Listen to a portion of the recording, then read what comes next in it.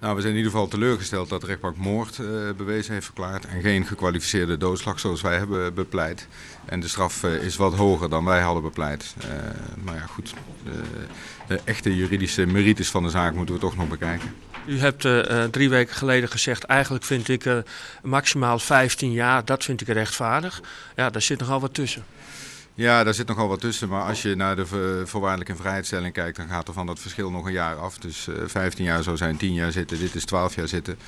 Uh, we moeten dat uh, goed bekijken. En we zaten van het, van het begin af aan erin, hebben we gehoopt dat een hoger beroep niet nodig zou zijn.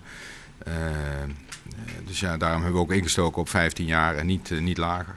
Maar wordt daarmee de kans op een hoger beroep groter?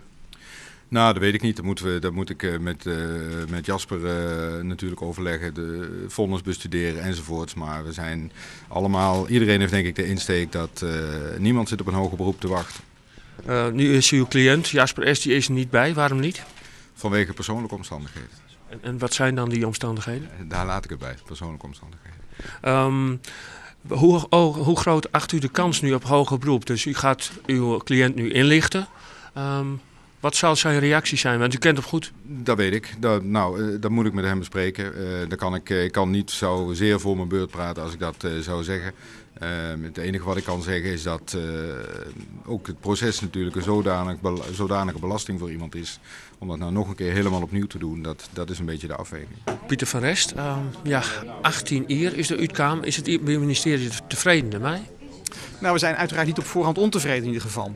Uh, wij hadden 20 jaar geëist. Wat voor ons heel belangrijk is, is dat de rechtbank met ons van mening is dat er sprake is van moord. Dat er sprake is van voorbedachte raad. Het is ook hartstikke belangrijk om dat vast te stellen.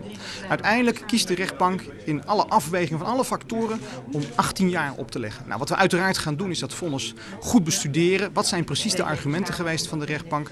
En daar, op basis daarvan gaan wij bepalen of wij wel of niet in hoger beroep gaan. Wat zou voor je hem dan nog de reden wijzen kennen om in hoger beroep te gaan?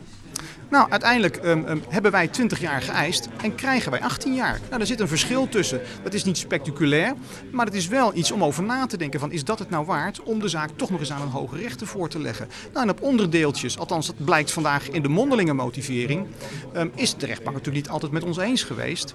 Uh, in de hoofdzaken wel, maar we moeten daar goed, goed naar gaan kijken. Wat zijn precies de argumenten van de rechtbank?